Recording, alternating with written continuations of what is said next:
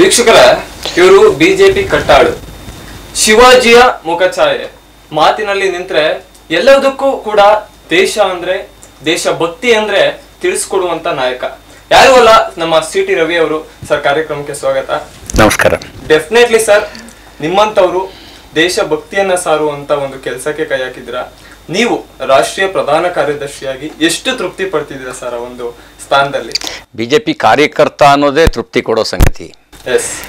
ಉಳಿದಿದ್ದ ಜವಾಬ್ದಾರಿ ಬದಲಾಗ್ತಾ ಇರುತ್ತೆ. ಜವಾಬ್ದಾರಿ ಇರ್ಬೋದು ಹೋಗ್ಬೋದು. ಆದರೆ ಬಿ ಜೆ ಪಿ ಕಾರ್ಯಕರ್ತ ಅನ್ನೋದು ಯಾವತ್ತೂ ಬದಲಾಗಲಿಕ್ಕೆ ಸಾಧ್ಯ ಇಲ್ಲ. ಇಲ್ಲಿವರೆಗೂ ಕಾರ್ಯ ಮಾಡ್ತಿರ್ತೀವಿ ಅಲ್ಲಿವರೆಗೂ ನಾವು ಕಾರ್ಯಕರ್ತ. ಹಾಗಾಗಿ ಆ ಕಾರ್ಯಕರ್ತ ಅನ್ನೋ ಭಾವನೆನೇ ಸಂಪೂರ್ಣ ತೃಪ್ತಿಯನ್ನು ಕೊಟ್ಟಿದೆ. ಎಲ್ಲೋ ಒಂದ್ ಕಡೆ ಸಿ ಟಿ ರವಿ ಅವ್ರಿಗೆ ರಾಜ್ಯ ಸರ್ಕಾರದಲ್ಲಿ ಮಿನಿಸ್ಟ್ರಿಗಿರಿ ಬೇಕಾಗಿತ್ತು. ಯಾಕೆಂದ್ರೆ ಚಿಕ್ಕಮಂಗ್ಳೂರ್ ಅಭಿವೃದ್ಧಿಗೋಸ್ಕರ.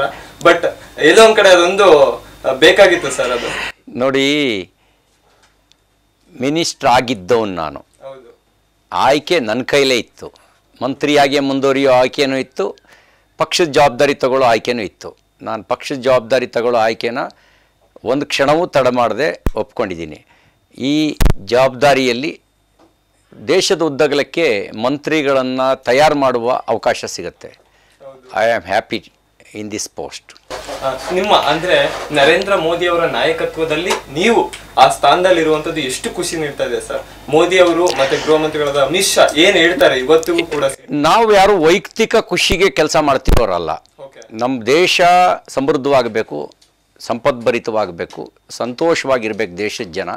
ಅದಕ್ಕಾಗಿ ಒಂದು ಬಲವಾಗಿರ್ತಕ್ಕಂಥ ರಾಜಕೀಯ ವ್ಯವಸ್ಥೆ ಆ ರಾಜಕೀಯ ವ್ಯವಸ್ಥೆಯ ಕೆಳಗಡೆ ನಮ್ಮ ಸೈನ್ಯ ನಮ್ಮ ಸಾಮಾನ್ಯ ಜನಸಾಮಾನ್ಯರಾದಿಯಾಗಿ ಎಲ್ಲರೂ ಸಂತೋಷವಾಗಿರಬೇಕು. ಅದಕ್ಕೋಸ್ಕರ ರಾಜಕೀಯ ಕ್ಷೇತ್ರದಲ್ಲಿ ಕೆಲಸ ಮಾಡ್ತಿರೋರು ನಾವು. ಬರೀ ನಮ್ಮ ವ್ಯಕ್ತಿಗತ ಖುಷಿಗೋಸ್ಕರ ಅಲ್ಲ.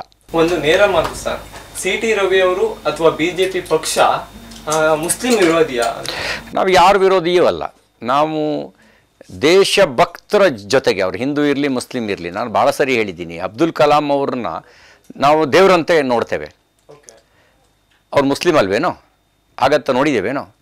ಅಬ್ದುಲ್ ಹಮೀದ್ ಅಂಥೇಳಿ ನೈನ್ಟೀನ್ ಸೆವೆಂಟಿ ಒನ್ ಬಾಂಗ್ಲಾ ವಿಮೋಚನಾ ಯುದ್ಧದಲ್ಲಿ ಪ್ರಮುಖ ಪಾತ್ರ ವಹಿಸಿದವರು. ಸಂಘದ ಶಾಖೆಯಲ್ಲಿ ಅವರ ಬಗ್ಗೆ ಕತೆ ಹೇಳಿ ಅವರ, ಅವರು ಅಂದರೆ ಎಂಥ ಒಂದು ವ್ಯಕ್ತಿತ್ವ ಅನ್ನೋದನ್ನು ಸಂಘದ ಶಾಖೆಯಲ್ಲಿ ಹೇಳ್ಕೊಟ್ರು. ಏನು ಮಾಡ್ತೀರಿ? ಕೆಲವರು ಸಂಘವನ್ನು ಮುಸಲ್ಮಾನರ ನಡುವೆ ತಪ್ಪಾಗಿ ಬಿಂಬಿಸ್ತಾರೆ. ರಾಷ್ಟ್ರಭಕ್ತಿ ಅಪರಾಧ ಅಲ್ಲ. ರಾಷ್ಟ್ರದ್ರೋಹ ಅಪರಾಧ. ನಾವು ರಾಷ್ಟ್ರದ್ರೋಹಿಗಳ ವಿರುದ್ಧ. ಅವನು ಹಿಂದೂ ಇರಲಿ, ಮುಸಲ್ಮಾನ್ ಇರಲಿ, ಕ್ರಿಶ್ಚಿಯನ್ ಇರಲಿ, ಯಾವುದೇ ಜಾತಿಯವನಿರಲಿ ನಾವು ರಾಷ್ಟ್ರದ್ರೋಹಿಗಳ ವಿರುದ್ಧ ಅವ್ರನ್ನ ಮಠ ಹಾಕದೇ ಇದ್ದರೆ ನೋಡಿ ಚಾಣಕ್ಯ ಒಂದು ಕಡೆ ಹೇಳ್ತಾನೆ ದೇಶದ ಒಳಗಡೆ ಇರೋ ಶತ್ರುಗಳಿಗಿಂತ ಅಲ್ಲ ದೇಶದ ಹೊರಗಡೆ ಇರೋ ಶತ್ರುಗಳಿಗಿಂತ ದೇಶದ ಒಳಗಡೆ ಇರೋ ಶತ್ರುಗಳು ಅಪಾಯಕಾರಿ ಅಂತ. ನಾವು ಅದು ಬಿಟ್ಟರೆ ನಾವೀಗ ನಮ್ಮ ದೇಶಭಕ್ತಿ ಕೆಲವರಿಗೆ ಸಂಕಟವನ್ನು ತಂದುಕೊಡುತ್ತೆ. ದೇಶಭಕ್ತಿ ನಮ್ಮ ವಿರುದ್ಧ ಅಂತ ಅನ್ಕೋತಾರೆ. ದೇಶಭಕ್ತಿಯನ್ನು ವಿರುದ್ಧ ಅಂತ ಅಂದ್ಕೊಂಡ್ರೆ ಅವರು ದೇಶಪ್ರೇಮಿಗಳಾಗಿರೋಕ್ಕೆ ಸಾಧ್ಯನೇ ಇಲ್ಲ. ದೇಶಭಕ್ತಿ ಅದು ಯಾವತ್ತೂ ಒಬ್ಬರ ವಿರುದ್ಧ ಇರೋಕ್ಕೆ ಸಾಧ್ಯನೇ ಇಲ್ಲ. ನಮಗಿರೋದು ಅಪ್ಪಟವಾಗಿರೋ ದೇಶಭಕ್ತಿ. ಮುಸಲ್ಮಾನರ ವಿರುದ್ಧ ಅಂತ ಅಂದ್ಕೊಂಡ್ರೆ ಅದು ಅವ್ರದ್ದು ದೊಡ್ಡ ತಪ್ಪು ಮತ್ತು ಅವ್ರ ಬಗ್ಗೆ ಅವರಿಗಿರುವಂಥ ದೇಶ ನಿಷ್ಠೆಯ ಬಗ್ಗೆ ಒಂದು ಪ್ರಶ್ನಾರ್ಥಕ ಚಿಹ್ನೆ. ಸರ್ ಈಗ ಪ್ರಧಾನ ಕಾರ್ಯದರ್ಶಿ ಹುದ್ದೆಯಿಂದ ನಿಮಗೆ ಎಷ್ಟು ಬಿಡುವು ಸಿಗುತ್ತೆ? ಅದರಲ್ಲಿ ಚಿಕ್ಕಮಗಳೂರಿಗೆ ಕೊಡುವಂಥ ಕೆಲಸ ಆಗ್ತಿದೆಯಾ ಸರ್? ಈಗ ಜವಾಬ್ದಾರಿ ರಾಷ್ಟ್ರದಿದ್ದಾಗ ರಾಷ್ಟ್ರದ ಉದ್ದಾಗಲೂ ಓಡಾಡಲೇಬೇಕು ಅದರ ನಡುವೆ ಸಮಯ ಆದಾಗೆಲ್ಲ ಕಾನ್ಸ್ಟಿಟ್ಯುನ್ಸಿ ಕ್ಷೇತ್ರವನ್ನು ಅಟೆಂಡ್ ಮಾಡ್ತೀನಿ. ನಮ್ಮ ಕಾರ್ಯಕರ್ತರ ಜಾಲ ಚೆನ್ನಾಗಿದೆ. ಪಂಚಾಯತಿಯಿಂದ ಪಾರ್ಲಿಮೆಂಟ್ನವರೆಗೂ ಹೆಚ್ಚಿನ ಜಾಗಗಳಲ್ಲಿ ಭಾರತೀಯ ಜನತಾ ಪಾರ್ಟಿಯವರೇ ಇದ್ದಾರೆ. ಹಾಗಾಗಿ ಜನರಿಗೆ ತೊಂದರೆ ಆಗದಂತೆ ನಾವು ಒಂದು ವ್ಯವಸ್ಥೆ ನಿರ್ಮಾಣ ಮಾಡಿ ಮ್ಯಾನೇಜ್ ಮಾಡ್ತೀವಿ. ಇದರ ನಡುವೆ ಅಪೇಕ್ಷೆ ಇರುತ್ತೆ ಜನರಿಗೆ ಮದುವೆಗೆ ಬರಬೇಕು ಹಬ್ಬಕ್ಕೆ ಬರಬೇಕು ಸಾವಿಗೆ ಬರಬೇಕು ಅಂಥೇಳಿ ಊರಲ್ಲಿದ್ದಾಗೆಲ್ಲ ಅಟೆಂಡ್ ಮಾಡ್ತೀವಿ. ಇಲ್ಲದೇ ಇದ್ದಾಗ ಕಾರ್ಯಕರ್ತರು ಯಾರಾದರೂ ಹೋಗ್ತಾರೆ.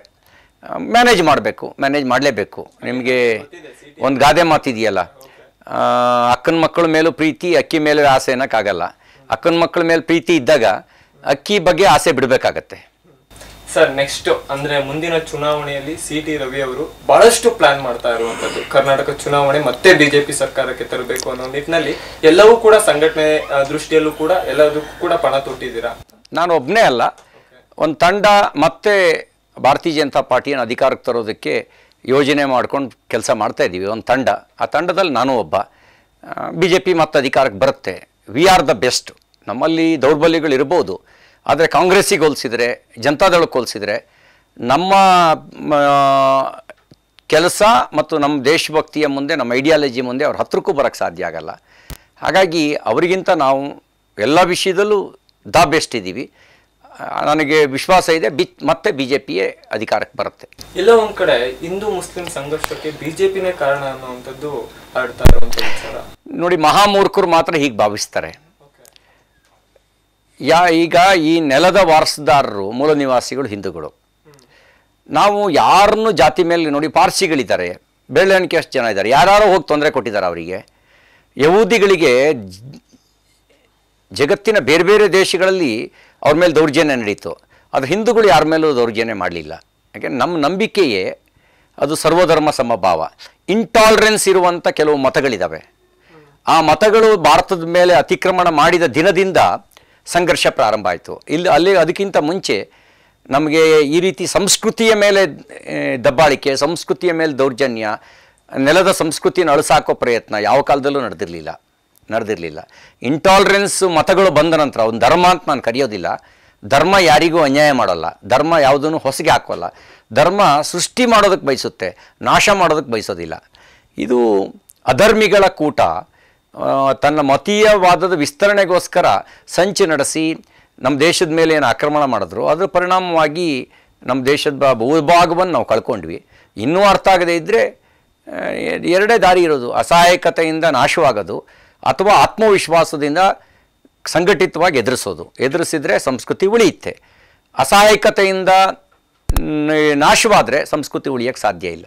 ಕೆಲವೊಮ್ಮೆ ಸಿ ಟಿ ರವಿ ಅವರ ಹೇಳಿಕೆಗಳನ್ನು ನೋಡೋದಾದ್ರೆ ಮುಸ್ಲಿಮರೇ ಈ ದೇಶದಲ್ಲಿ ಇರಬಾರ್ದು ಅನ್ನೋ ಥರ ಇದೆ. ಯಾರು ಹೇಳಿದವರು? ಅದು ತಪ್ಪು. ಹಾಗೇನು ಯಾವತ್ತೂ ನಾನು ಹೇಳಿಲ್ಲ. ಯಾವ ಹೇಳಿಕೆಯಲ್ಲೂ ಅದನ್ನು ಹೇಳಿಲ್ಲ. ಯಾವುದೇ ಹೇಳಿಕೆಯೂ ಹೇಳಿಲ್ಲ. ದೇಶದ್ರೋಹಿಗಳಿಗೆ ಜಾಗ ಇಲ್ಲ. ಅವನು ಯಾವ ಜಾತಿ ಬೇಕಾದ್ರೂ ಇರಲಿ. ದೇಶದ್ರೋಹಿಗಳಿಗೆ ಜಾಗ ಇಲ್ಲ. ದೇಶದ್ರೋಹಿಗಳನ್ನು ಇಲ್ಲಿಟ್ಕೊಂಡು ದೇಶ ಅಂದ್ರಿ? ಬಟ್ ನಿಮ್ಮದೇ ಪಕ್ಷದವರು ಕೆಂಪುಕೋಟೆ ಮೇಲೆ ಕೇಸರಿ ಧ್ವಜ ಹಾರಿಸ್ತೀವಿ ಅಂತಾರೆ ಮುಸ್ಲಿಮರು ಪಾಕಿಸ್ತಾನಕ್ಕೆ ಹೋಗ್ರಿ ಅಂತಾರೆ ಇದೆಲ್ಲವೂ ಕೂಡ ಸಿಟಿರವರು ಸಮರ್ಥನೆ ಮಾಡ್ತಾರೆ. ನಾನು ಅದನ್ನು ಸಮರ್ಥನೆ ಮಾಡೋದಿಲ್ಲ. ನಾನು ಅದನ್ನು ಸಮರ್ಥನೆ ಮಾಡೋದಿಲ್ಲ. ಈಗ ಸಂವಿಧಾನ ಮಾನ್ಯ ಮಾಡಿರೋದು ರಾಷ್ಟ್ರಧ್ವಜವನ್ನು. ರಾಷ್ಟ್ರಧ್ವಜವೇ ಸರ್ವಶ್ರೇಷ್ಠ. ಹಿಂದುವಾಗಿ ಭಗವದ್ವಜಕ್ಕೆ ನಾನು ಎಲ್ಲ ಗೌರವವನ್ನು ಸಲ್ಲಿಸ್ತೇನೆ. ಆದರೆ ಒಬ್ಬ ಭಾರತೀಯ ಪ್ರಜೆಯಾಗಿ ಭಗವದ್ಧ್ವಜ ರಾಷ್ಟ್ರಧ್ವಜಕ್ಕಿಂತ ಮೇಲು ಅಂತ ನಾನು ಭಾವಿಸೋದಿಲ್ಲ. ಸಾಂಸ್ಕೃತಿಕವಾಗಿ ಸಾಂಸ್ಕೃತಿಕವಾಗಿ, ಕನ್ನಡದ ವಿಷಯ ಬಂದಾಗ ಕನ್ನಡದ ಬಾವುಟ ಹಿಡ್ಕೋತೀನಿ. ಧರ್ಮದ ವಿಷಯ ಬಂದಾಗ ಭಗವದ್ಧ್ವಜ ಹಿಡ್ಕೋತೀನಿ. ದೇಶದ ವಿಷಯ ಬಂದಾಗ ಅದು ತ್ರಿವರ್ಣ ಧ್ವಜವೇ ರಾಷ್ಟ್ರಧ್ವಜವೇ. ಕೆಲವರು ದೇಶದ ವಿಷಯ ಬಂದಾಗಲೂ ಕೂಡ ಧ್ವಜ ಬದಲಾಯಿಸ್ತಾರೆ, ಅದು ಡೇಂಜರು. ನಾವು ದೇಶದ ವಿಷಯ ಬಂದಾಗ ಭಾರತ್ ಮಾತಾ ಕಿ ಜೈ. ತ್ರಿವರ್ಣ ಧ್ವಜನ ಹಿಡ್ಕೊಂಡೇ ಮುಂದೆ ಹೋಗೋದು.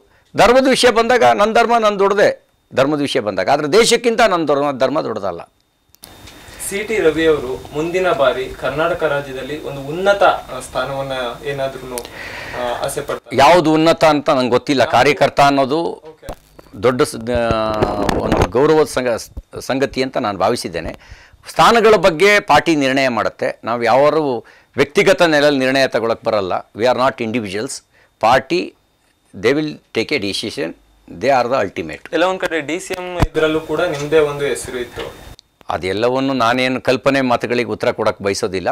ಪಾರ್ಟಿ ಏನು ಯಾವ ಸಂದರ್ಭದಲ್ಲಿ ಏನು ಜವಾಬ್ದಾರಿ ಕೊಡಬೇಕು ಅನ್ನೋದನ್ನು ಪಾರ್ಟಿ ನಿರ್ಣಯ ತಗೊಳುತ್ತೆ. ಕೊನೆ ಪ್ರಶ್ನೆ ಸರ್ ನರೇಂದ್ರ ಮೋದಿ ಅವರ ಅಚ್ಚೆ ದಿನ ಆಗುತ್ತಾ? ಅಚ್ಚೆ ದಿನ ಬಂತಾ? ನಿಮಗೇನು ಅಚ್ಚೆ ದಿನ ಅಂದರೆ ಏನು ತಿಳ್ಕೊಂಡಿದ್ದೀರಿ? ಅಚ್ಚೆ ದಿನ ಅಂತಂದರೆ ಅಚ್ಚೆ.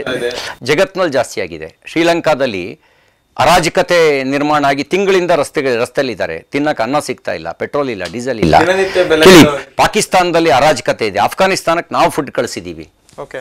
ನೇಪಾಳದಲ್ಲಿ ಅವ್ರು ಇನ್ನೇನು ದಿವಾಳಿಯ ಅಂಚಿಗೆ ಬಂದು ನಿಂತಿದ್ದಾರೆ. ಭಾರತದಲ್ಲಿ ಐ ಪಿ ಎಲ್ ಮ್ಯಾಚ್ ನಡೀತಾ ಇದೆ. ಇದಕ್ಕಿಂತ ಆಚೆ ದಿನ ಇನ್ನೇನು ಬೇಕು? ಕಾಶ್ಮೀರದಲ್ಲಿ ಸೈನಿಕರಿಗೆ ಕಲ್ಲು ಹೊಡಿತಿದ್ರು. ಅದನ್ನು ತಮಾಷೆಯಾಗಿ ತೋರಿಸ್ತಾ ಇದ್ರು. ತಮಾಷೆಯಾಗಿ ತೋರಿಸ್ತಿದ್ರು. ಕಾಶ್ಮೀರದ ಮೂಲ ನಿವಾಸಿಗಳು ಕಾಶ್ಮೀರವನ್ನು ಬಿಟ್ಟು ನಿರಾಶ್ರಿತರಾಗಿ ಜಮ್ಮು ಮತ್ತು ದೆಹಲಿ ಬೀದಿನಲ್ಲಿ ಅಲಿಬೇಕಿತ್ತು. ಅವ್ರು ವಾಪಸ್ ಸೆಟ್ಲ್ ಆಗ್ತಾ ಇದ್ದಾರೆ. ಇದಕ್ಕಿಂತ ಅಚ್ಚೆ ದಿನ ಏನು ಬೇಕು ನಿಮಗೆ? ಯಾವುದನ್ನ ಅಚ್ಚೆ ದಿನ ಅಂತ ಬಯಸ್ತೀರಿ?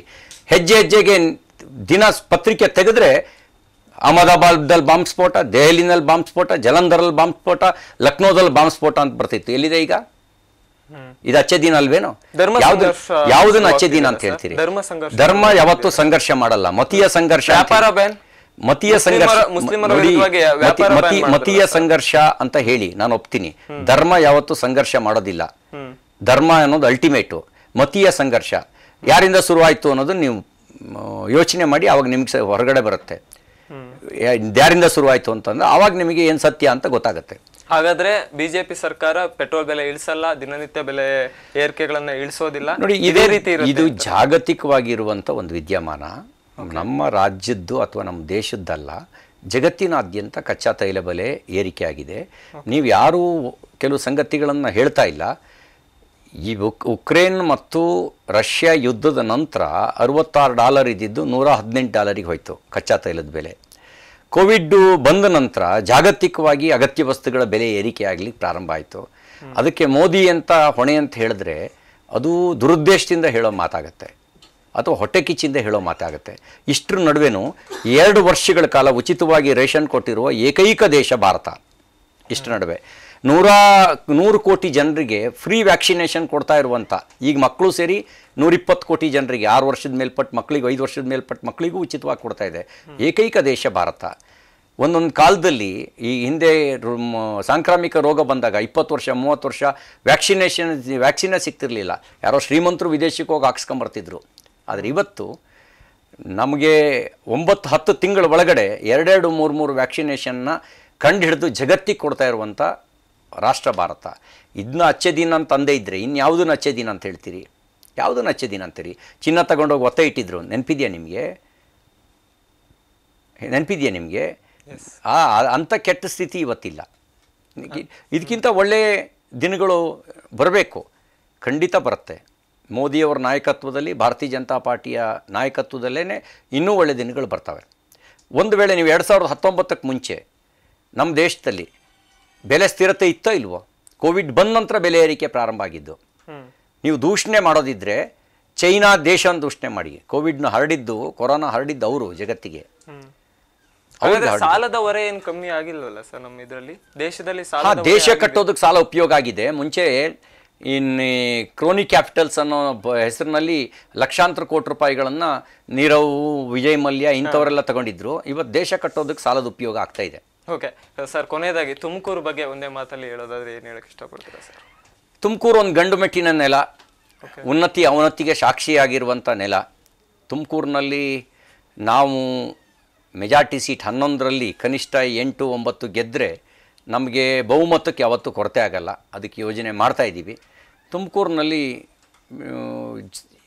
ಈ ಎರಡು ಸಾವಿರದ ಹತ್ತೊಂಬತ್ತರ ಚುನಾವಣೆಯಲ್ಲಿ ಕಾಂಗ್ರೆಸ್ಸು ಜೆ ಡಿ ಎಸ್ಸು ಒಟ್ಟಾಗಿ ಬಂದಿದ್ದರು ದೇವೇಗೌಡರೇ ಸ ಎರಡು ಪಕ್ಷಗಳ ಅಭ್ಯರ್ಥಿಯಾಗಿದ್ದರು ಅದರ ನಡುವೆನೂ ಬಿ ಜೆ ಪಿನ ಗೆಲ್ಲಿಸಿದ್ದಾರೆ ಓಕೆ ಸರ್ ಈಗ ಇಲ್ಲಿ ತುಮಕೂರಿನಲ್ಲಿ ಬಂದ್ರೆ ಸಂಘಟನೆ ಅಷ್ಟು ಶಕ್ತಿಶಾಲವಾಗಿ ಹೊರಹೊಮ್ತಾ ಇದೆಯಾ ಅನ್ಸುತ್ತೆ ಸರ್ ಸಂಘಟನೆ ಮಾಡ್ತಾ ಇರಬೇಕು ನಿರಂತರವಾಗಿ ಮಾಡೋ ಕೆಲಸ ಅದು. ನಾನು ಇಂಟರ್ನಲ್ ಇರೋದನ್ನ ನಾನು ಹೊರಗಡೆ ಹೇಳಕ್ಕೆ ಬರಲ್ಲ.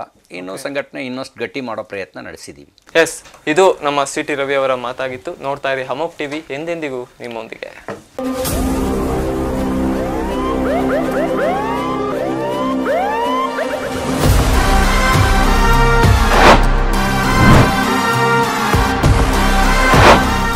ಕ್ಷಣ ಕ್ಷಣದ ಸುದ್ದಿಗಾಗಿ ಅಮೋಕ್ ಟಿವಿ ಯೂಟ್ಯೂಬ್ ಚಾನೆಲ್ಗೆ ಸಬ್ಸ್ಕ್ರೈಬ್ ಮಾಡಿ ಹಾಗೂ ಬೆಲ್ ಐಕಾನ್ ಮೇಲೆ ಕ್ಲಿಕ್ ಮಾಡಿ. ಅಮೋಕ್ ಟಿವಿ ಎಂದೆಂದಿಗೂ ನಿಮ್ಮೊಂದಿಗೆ.